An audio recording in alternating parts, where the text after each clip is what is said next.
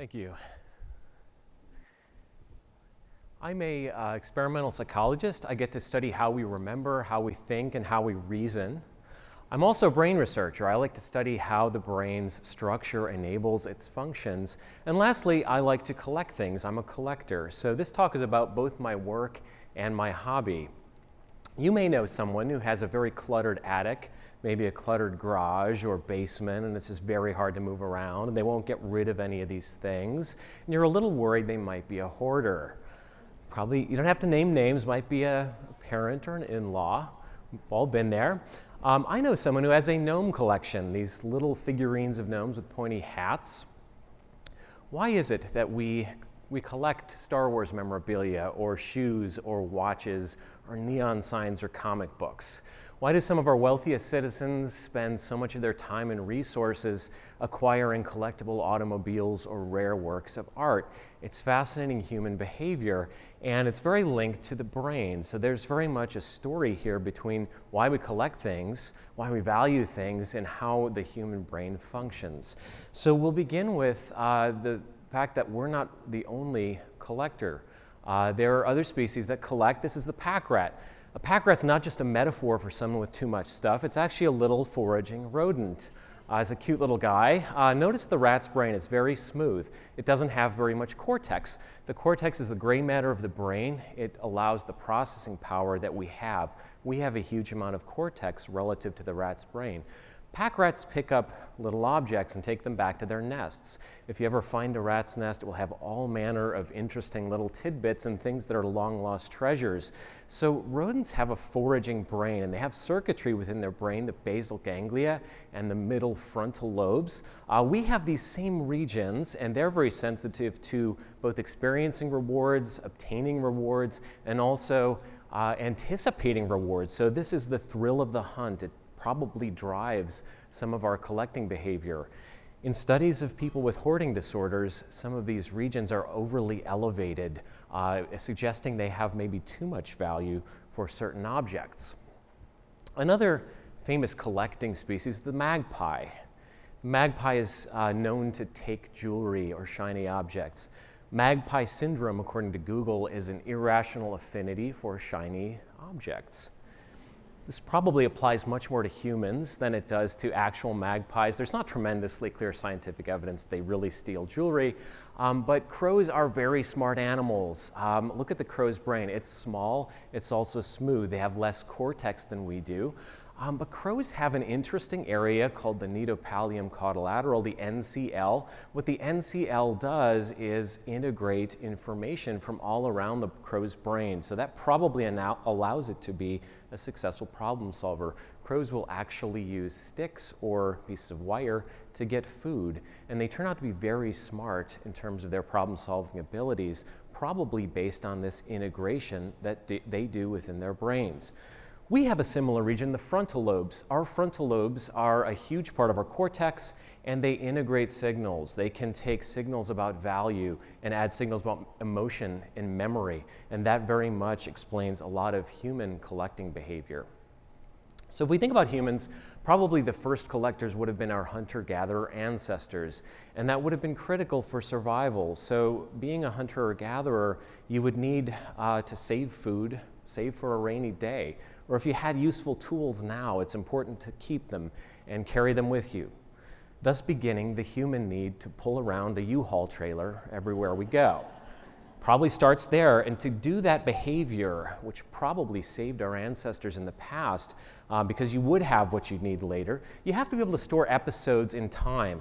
And this is a feature of the human brain which is remarkable. We can store uh, situations very abstractly. We can think about what's happened in the past, compare it to our current situations, and project out into the future what we will need. This is cave art. Cave art is one of the signs, uh, a species that can do cave art can represent the world in unprecedented ways, uh, representing animals and hunting interactions and even tools in this image.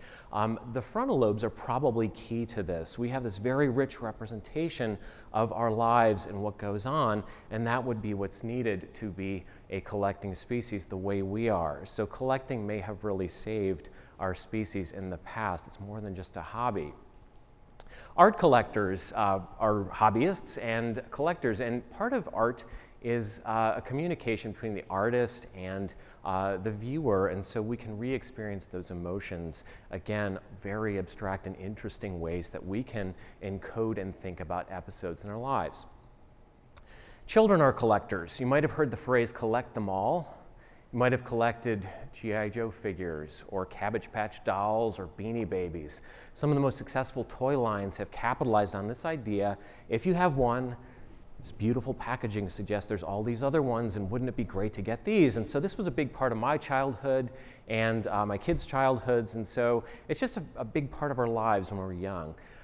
Some of us uh, continue to be collectors as adults, and it becomes much more uh, in, embellished and and amplified in adults. So um, back in 1991, Wayne Gretzky, the hockey star, and Bruce McNall, the owner of the LA Kings, who had acquired Gretzky in a famous trade, had bought a Honus Wagner baseball card from 1909. This was interesting. It, it was uh, made the news. They'd spent $451,000 on this little piece of cardboard with a picture on it.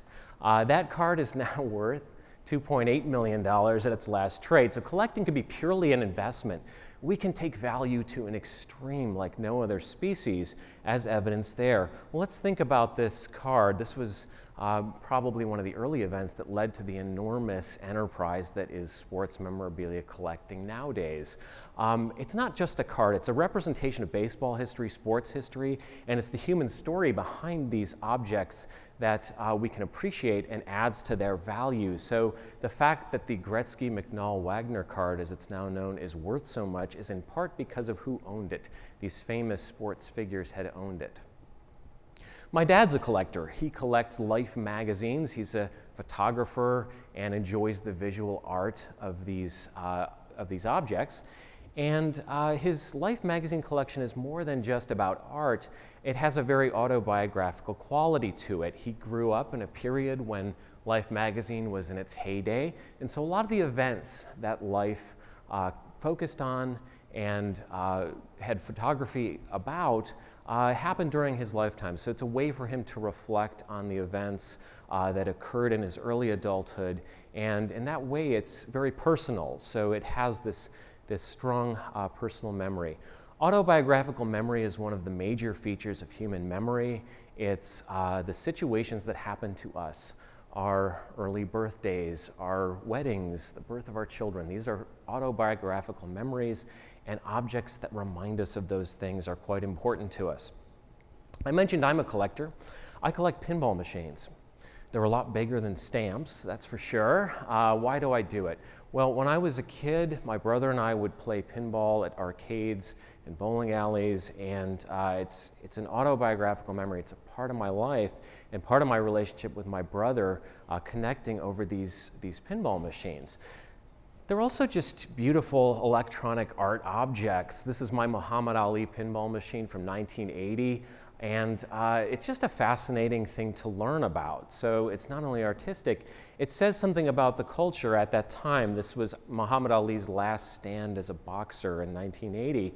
And pinball is just fun to know about. So this was designed by Stern Electronics, and Harry Williams was the designer. Harry Williams founded Williams Electronics, which built Defender.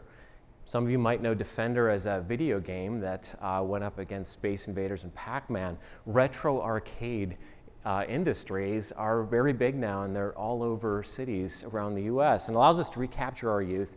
And uh, through this hobby, we just like to build our knowledge. So for me, pinball is about knowing about these, um, these different machines. If I mention Twilight Zone or Addams Family, Some of you are thinking those are old television shows. A few of you out there are going to recognize those are famous pinball machines. You ever play the Twilight Zone in college, maybe? In the 1990s, that was one of the major collectibles. It's not an accident that those are pop culture references. We think about them at multiple levels and we can connect over those. So that's one of the last reasons that we really collect, and it's connecting with other people who are like minded. Our brains are very social. We have social rewards. We experience the reward of being around other people, and we have a hormone called oxytocin. Oxytocin elevates when we're around like minded individuals in groups, as uh, social psychologists would say.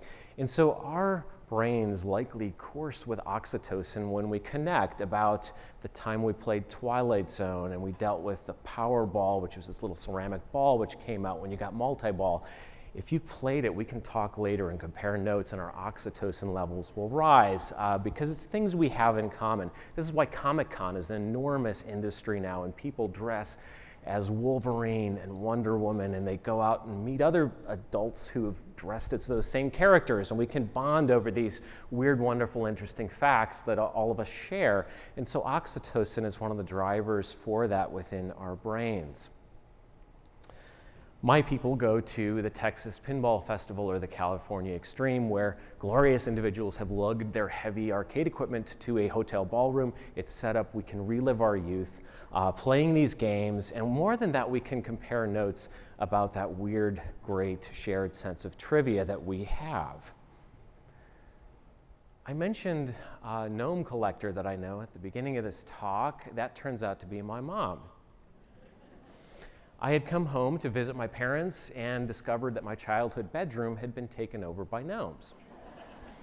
Why gnomes? Well, before they were um, the pop culture icons that we know through Travelocity and through uh, these garden gnome animated movies, there was a book on gnomes. It was a beautifully illustrated book by a Dutch writer, and my mom had read the gnome book to my brother and I when we were children. So for my mom, the Gnome Collection is very much about cherished memories of early parenting. And so it's very appropriate that those gnomes live in my childhood bedroom. And I get a little, bit, little bit of an oxytocin feeling when I think about that gnome collection now. So when you go to your uh, relative or friend's house and it's just too cluttered, don't call the psychologist just yet to complain that they might be a hoarder. Instead, ask them about their collection. You might find that there's an interesting personal story, autobiographical details about these objects. And then we can elevate value to such a tremendous degree because we integrate memories into these different objects. So my advice would be collect things, go on eBay and experience that thrill of uh, the rush when you, when you win an auction. It's a great thing. And uh, also connect with others, discuss your hobbies with other people, and you'll probably find that you can make friends and have interesting connections. It will enrich your life. And our brains are wired to collect. Thank you.